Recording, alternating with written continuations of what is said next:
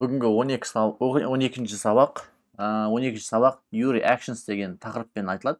Ол не үшін юри actions деп аталады?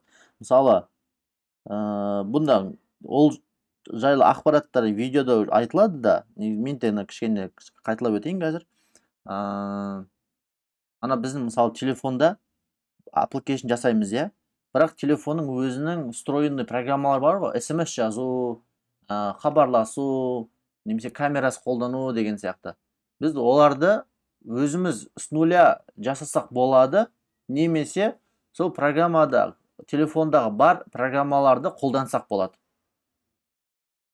А қолдану үшін ә, қай программаны қолданып жатқанымыз сонда бір операция жазылу керек та. Ә, программа түсіну керек қой именно осы программаны смс деп басқан кезде смс жазатын ана бөлек бір ә, окошко ашылатын біз өзің смстің немесе камера ашылатын деген сияқты. Сол жерде юри деген нелер болады? Actions яғни юри ссылкалар деген сияқты түсінсеңіздер болады да. Сол ссылкалар болады. Сол ссылкаларды басу арқылы біз проекттің ішіндегі ә, басқа программаларды қолданамыз. Мысалы делік ә, біз бір сайтты ашқымыз келеді. Сол сайттың ссылкасын басқан кезде телефон бір жер бір программасы ішінде бізде егер телефонымызда бір немесе екі немесе одан көп браузер установка жасалса chrome opera және телефон өзінің браузер хром установка жасалса байқасаңыздар сіздерге выборочно бір программаны береді. Қай программамен ашайын деп. Хроммен операмен немесе басқамен деген сияқты. Сол ә, программаларды юри actionsмен ашылады да то есть браузерге бар дейді. Бірақ әртүрлі браузердің түрлерін көргеннен кейін олар өздері таңдауды біз өзімізге береді да. Анау смс жазған кезде де ә, кейбір телефондарда whatsappпен ашайын ба кәдімгі просто смспен ашайын ба деген сияқты келтіреді ғой. Бұл жақта да сол сияқты. Және соның бөлек программалар қолдануды көрсетілген 12 сабақта. Сол ә, ең көп қолданылаты деген ә, хабарласу смс жазу және камерасын қолдану. Осы үшеуімен пример келтірілген сабақта. Ә, осы үшеуімен пример келтірілгеннен кейін ары қарай қалған примерлерді самостоятельно тауып көруге болады да. Негізі түрлері көп қой телефонды қолдануға болады. Мысалы контактный контактный адамдардың контактный данныйларын алуға болады телефонда алдын ала сақталған ә, телефон SD картасын қолдануға болады ішіндегі файлдар сақталған ә, телефонда тағы не бар? Камера фронтальный камера артқы камерасы батарейкасының әм, состояниесі типа батарейкасы елу процент болып тұр ма жүз процент болып тұр ма ә, интернеттің күші деген сияқты бүкіл нәрсені қолдануға болады сосын соның қайсысын қалай қолдану жайлы қолдануды үйрену керек та осы юри деген ә, класспен он екінші сабақта хабарласу мен смс жазу көрсетілген и камера қолдану көрсетілген. Мынандай примерлер болады мысалы мынау ә, жерде таңдау болып тұр да.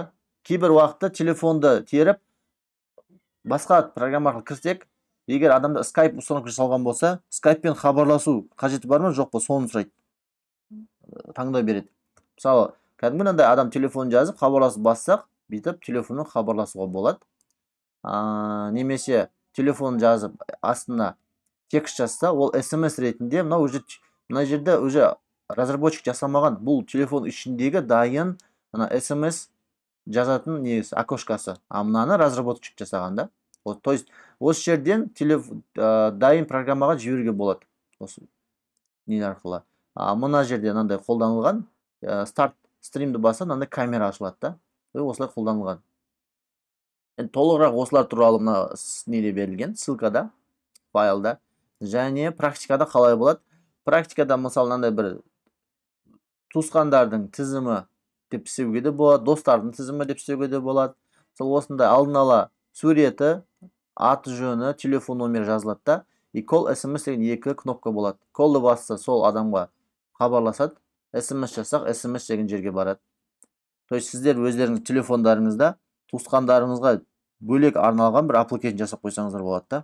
Өзіңіз ішінде хабарласып өзіңіз ішінде смс жазып деген сияқты.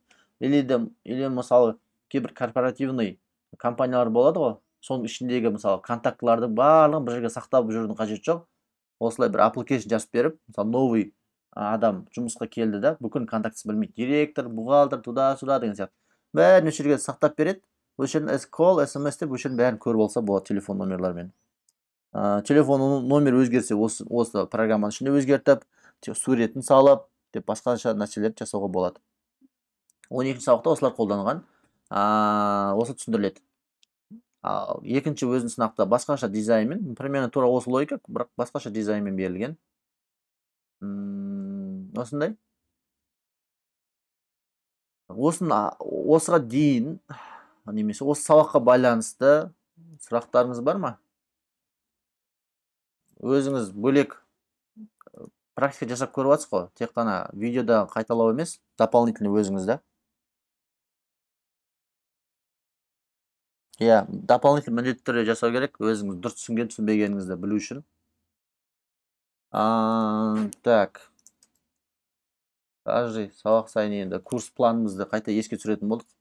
Өйткені курстың соңынан келе жатқан соң бізде қазір 12 сабақ осы не болып тұр юр actions болып тұр одан кейін splash screen деген өтеміз 13-те фрагмент навигация уже мына жерлерде проекттің жаңағы навигациясы деген сияқты. И он алтыншы сабақта уже final проект ретінде бұл жерде просто final проекттің түсіндірмесі беріледі. Ішінде қандай болған дұрыс не болған дұрыс деген сияқты. Осыған ұқсас өздеріңіз жаңа идея жазсаңыздар болады немесе тура осыны істесеңіздер болады. Просто біз бұл проекттің ішінде қандай функциялар қолданылу керек қандай дизайндар болу керек? Яғни осы 15 сабақтың ішінде қолданылған бүкіл функциялар болу керек та.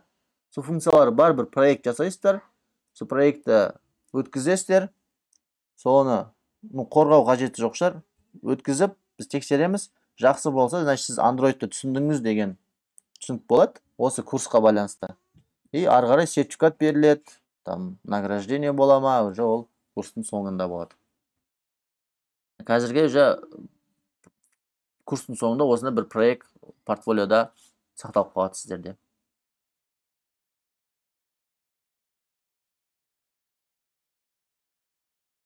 Иә.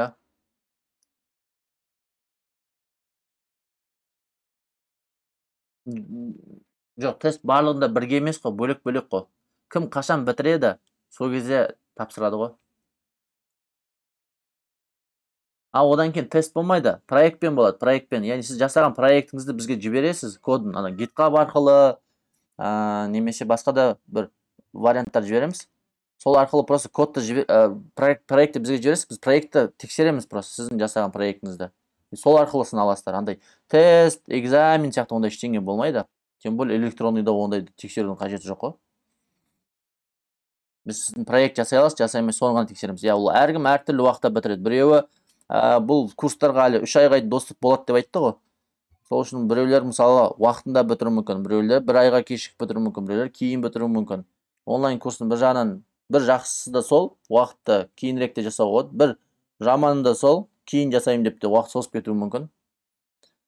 Енді қалай үлгергендеріңізше ғой енді. Главный бітіру керек та. Сертификат алып кішкене ары қарай жалғастыру үшін.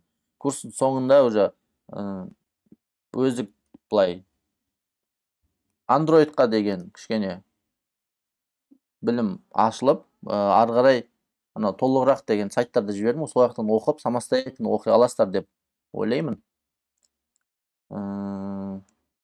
Кейін де бір кішкене қиындау курс жасау ойда бар. Бірақ ол қиынға дейін әлі. Бірінші осы база курстарды беріп алайық дегеніміз ғой.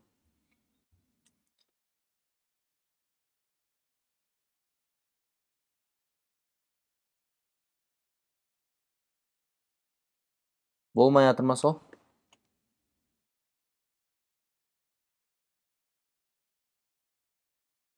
видео видео деген а так так так так мынау бесінші сабақта мен көрсеткен едім иә гитхабқа қалай салу керек екенін иә бесінші бесінші сабақта көрсеттім бірақ сізде оған дейін установкасы болмай жатыр ғой да а, компьютер windows компьютер windows қой сізде иә а болды түсіндім иә. Примерно бір екі ошибканы ойлап тұрмын сол ошибкаларды іздеп жіберейін ар жақта инструкциямен жасау керек фазға кіру керек бүйту керек сөйту керек.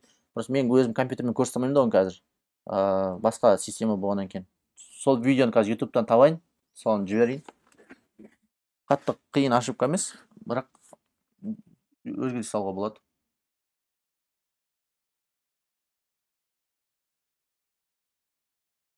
Так, Android э, с GitHub пен Android Studio байланысы, иә? Android Studio GitHub Setup. Так, тік, тік, тік, тік, тік, тік, тік. Так, былай. Енді ошибка болса қалай іздейміз?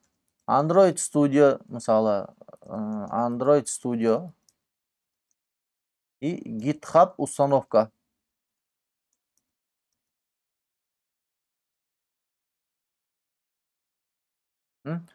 Мына жерде өзі мынандай нелер шығады. Как подключить github к проекту android studio? Как подключить github? Осындай статьяларды оқуды үйрену керек сіздерге. Статья емес қой бұл жерде. Көп үлкен тексттер просто ошибкалармен жұмыс деген сияқты да. Анау толығырақ дегенде сол үшін берілді да сайттар кішкене оқып оқып көрсін деген сияқты. Енді мына жерде жазылады. Я создаю новый проект что мне делать чтобы комит github туда сюда дейді. Мына жерде барлығында мына жер бүкіл нәрсе бүйтіп жазылған. Былай істейсің былай істейсің туда сюда деп мынау кішкене қиындау жазған екен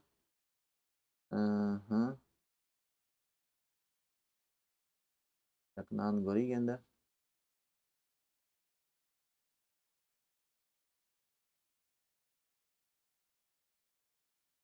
а мына жерде дұрыс жазған екен иә как раз с программ файлс деп немен жіберген Windows'тың системасына арналған осы ссылканы жіберейін қазір сіздерге осы жерде оқып ол жақта айтқан инструкцияларды жасап көріңіздер өздеріңіз. Кейін егер болмаса істеп көреміз. Негізі осымен шығу керек. Ана android студияның өзінің настройкасын жасайсыздар. Гитхабты бірінші установка жасайсыздар. Установка жасап болғаннан кейін android студиядағы терминалды github қолдан деп бір ссылка немен настройка жасау керек болады. Соны істеп істеп болған соң мына жақта түсіндірілген.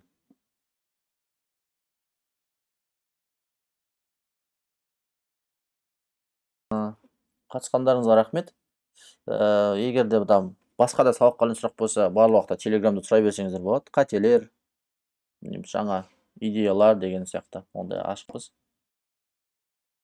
Назарларыңызға рахмет. Сау болыңыздар.